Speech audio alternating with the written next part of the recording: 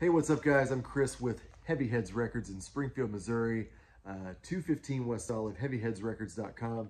I have a customer who was wanting me to uh, send him pictures of this album. Uh, it's listed on Discogs right now. So I thought, hey, I'll just do a video and I will send video to everybody.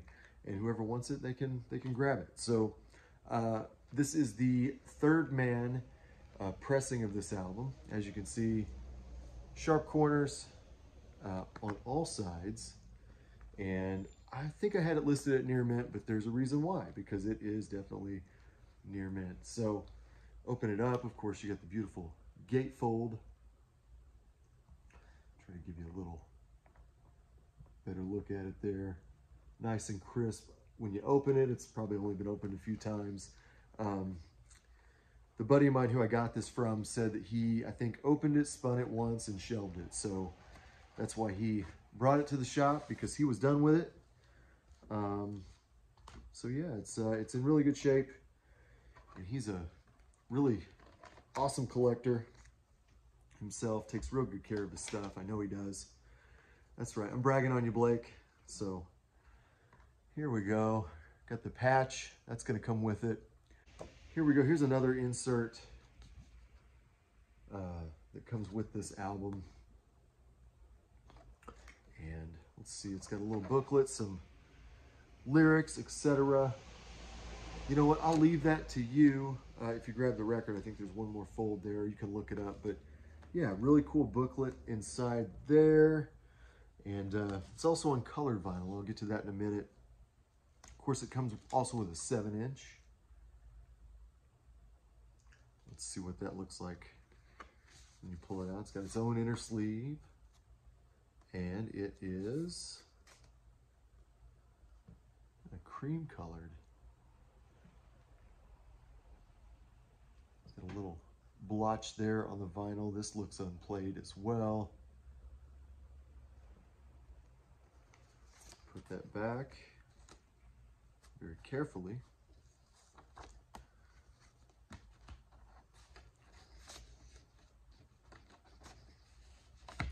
And as you can see on the sleeve too, very nice and crispy corners.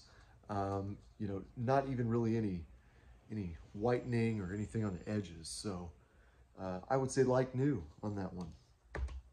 So let's take a look at the vinyl, shall we?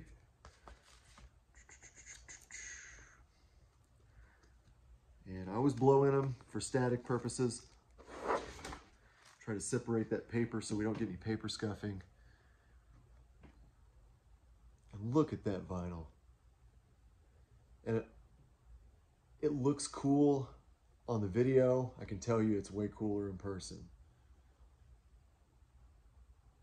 Way cooler in person. It's definitely um, translucent,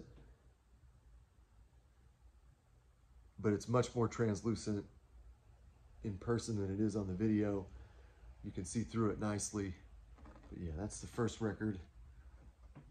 It's hard to grade it. You got to look really close, but uh, yeah, this one's near mint. Oh, let's look in here. I missed missed part of it. Make sure I didn't miss anything else in here. Okay. How about this Trump mask right here?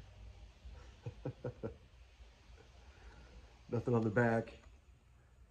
There it is.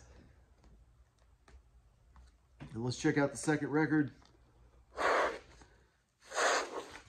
See, that one was sticky. I could have uh, could have maybe scuffed a little bit, but I did not.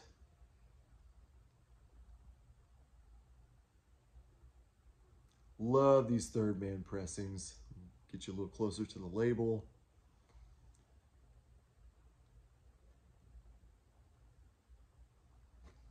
Just a beautiful piece, guys.